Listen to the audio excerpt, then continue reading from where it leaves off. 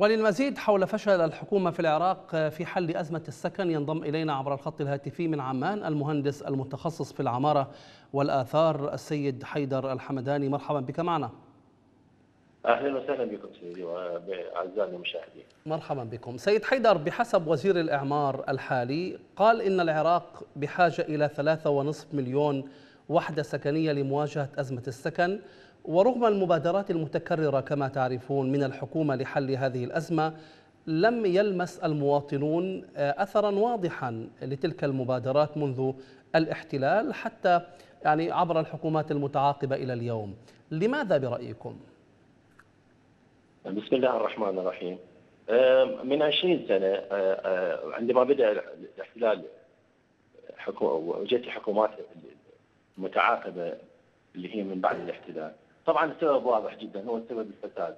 الفساد الإداري اللي عانى من عند الشعب العراقي. في أهم قطاع من قطاعات الحياة اللي تهمه اللي هو الإسكان يعني مع وجود 12 مليون نسمة في بغداد واكيد أيضا باقي المحافظات زادت بها الكثافة السكانية. ومع الإهمال الحكومي المتعمد اللي جرى على مدى السنين اللي راحت يعني هو مسبقا العراق أصلا عانى من من خلال عشرات السنين الماضية من إهمال هذا القطاع وبسبب الحروب وبسبب النزاعات وبسبب المشاكل اللي مر بها العراق ولما تأملنا خير بوجود تغيير في النظام في قبل 20 سنة إلا أنه للأسف الحكومات اللي, اللي تعاقبت ما لم تجد لم يجد الشعب العراقي أي حكومة اهتمت في هذا القطاع الحيوي جدا واللي أثر بشكل سلبي على جميع مرافق الحياة فيه.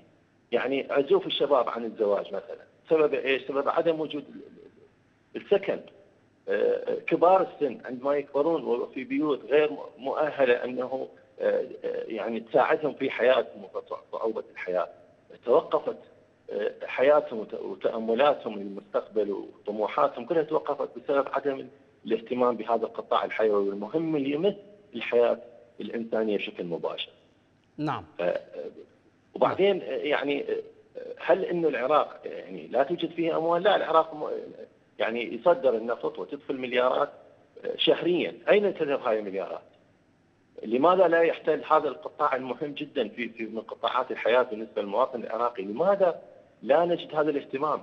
لماذا لماذا برأيك لماذا برأيك لا يوجد هذا الاهتمام سيد حيدر؟ هذا بسبب الفساد الإداري، فساد الحكومات والفساد المتعاقبة، كل حكومة تلقي باللائمة على الحكومة اللي قبلها وبآخر الأمر المواطن قد افلس من من أبسط حقوقه وهو أنه تهتم الدولة فيه، تهتم في في قطاع الإسكان، تهتم في حياته وتوفير حياة يعني حرة وحياة يعني آمنة وحياة جيدة. يعني الآن في الدول المتقدمة انتشر البيت الذكي البيت الذكي يعني مو بس إنه يامنوا له سكن. للإنسان. لا البيت الذكي لأنه تطورت الحياة وتطورت الأمور. وبالتالي زادت حاجات الإنسان لهذه المواضيع. يعني للأسف إحنا عندنا في بغداد لم يحصل أي من خلال هاي ال 20 سنة الماضية لم تحصل المفروض تحصل ثورة إسكانية في العراق. لأنه مع وجود هذا 12 مليون كما ذكرت تحتاج إلى العديد من العمارات السكنية وعلى البيوت السكنية المؤهله بجميع المرافق الحيوية الصحيحة. واللي تناسب طموحات المواطن العراقي. المواطن العراقي محبط الآن نعم. وليس له أي أمل نعم.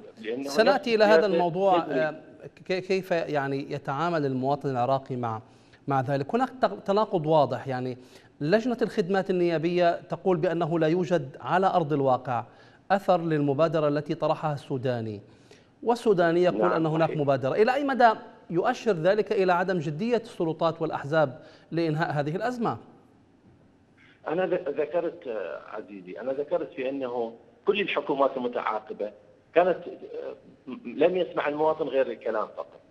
فهذه الحكومة الحالية ولا الحكومة اللي قبلها على نفس السياق استمروا على نفس السياق. هذا الموضوع سيدي العزيز يحتاج إلى تخطيط تخطيط بعيد المدى.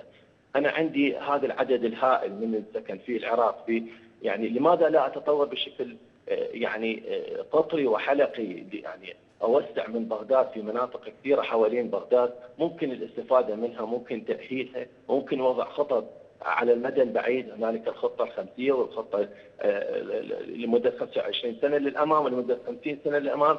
يعني يجب أن لما يجي التعداد العام للسكان وزاره التخطيط المفروض تضع خطط وحلول إلى المواطن.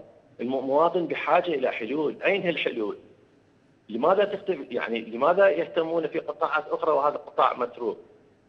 وبعدين هاي الحكومات حسب ما شفنا في بغداد هنالك قطاعات يمتلكوها أشخاص معينين نتيجة الفساد ونتيجة سرقة الأموال العام ونتيجة آه، آه، آه، يعني أصلا لجأوا إلى غسيل الأموال بواسطة شراء شراءات هاي الإسكانات بأسعار عالية جدا والمواطن المسكين محروم نعم. على ذكر المواطن سيد يعني. حيدر طبعا هذه الأزمة انعكست بشكل واضح على أسعار العقارات وبالتالي أصبح من الصعب على بسطاء الناس وأصحاب الدخل المحدود وشريحة واسعة من الشعب أو المواطنين شراء عقار خاص بهم شقة أو أرض أو ما إلى ذلك. وبالتالي انعكاس ذلك على على المواطنين. كيف يمكن للمواطن أن يحتمل كل هذه المعاناة؟ المواطن يعني ما الذي يعمله بيده يعني؟ لما حاولوا خرجوا إلى مظاهرات بسبيل التعبير عن رأيهم والتعبير عن عن حقوقهم. يعني حاولوا قدر الإمكان بعض الناس ولا طلعوا وخرجوا إلى الشارع لكن وجهوا بطرق أخرى. يعني وجهوا بالتصفية ووجهوا بأمور ثانية. يعني هو اللي طالب المواطن كلها حياة حرة شريفة. أوفر السكن وأوفر العمل واوفر أنا البلد الحمد لله مليء بالخيرات. مليء بالخيرات وقاعد يطلع إيرادات آه، لا بأس بها بالبترول وقاعد توصل إلى البلد العديد أين تذهب هاي الأموال؟ لماذا لم نرى مجمعات سكنية على غرار ما نشاهده في الدول المجاورة مثلا في في مصر؟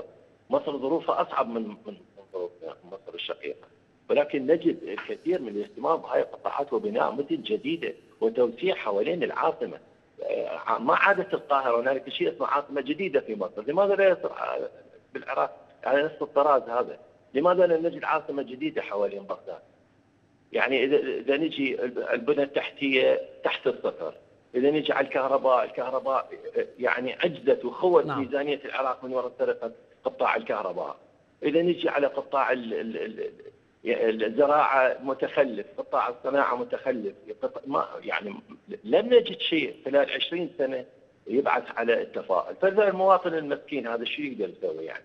يعني هي عبارة نعم. عن شقة لا يقدر يوفر فلوسها ولا يقدر يبني ولا يقدر يشتري قطعة أرض.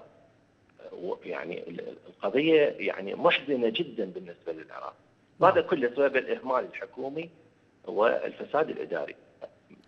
شكرا لك. شكرا لك المهندس المتخصص في العمارة والآثار السيد حيدر الحمداني. كنت معنا عبر الخط الهاتفي.